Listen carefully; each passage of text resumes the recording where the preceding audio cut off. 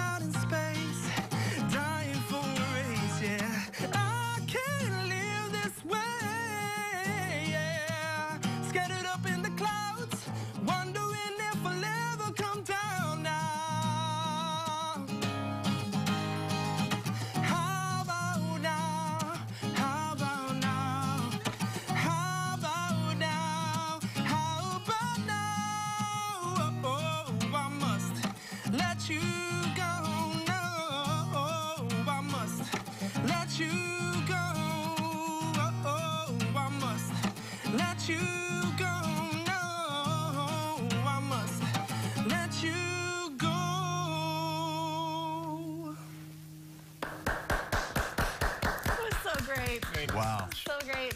We, Thank you so much, guys. That song is amazing, and it's one of your newer songs, and I have it on iTunes, and I've been listening Yes. to it in the office, and Tia Streeter and I have been dancing to it. Nice. Try to sing, it's terrible, and I'm like, I can't get the notes right, but it's such a catchy song. Thank you. And you have an incredible voice, man. Yes. Thank you so much, guys. I am guys. super jelly donut. it. donut. Cream filled jelly donut. Where, where did those donuts go, by the way? We to- You get all the donuts now. Unbelievable, Thank you. Steven. Thank Seriously, you. thank you so much for joining us. It's a real pleasure, incredible, guys. Incredible, incredible. This Thank has you. been Studio Entertainment. For more information on the Gefroh Brothers, check out their website at thegefrohbrothers.bandzoogle.com or find their music on iTunes. Their new single, Steven, How about now? How About Now, will be released September 18th. Steven, thanks again, man. We Thank really you. appreciate you being here. Thank, you, guys. Stephen. All right, keep keep it here. Coming up next, our adrenaline is about to pump even more, if you can imagine.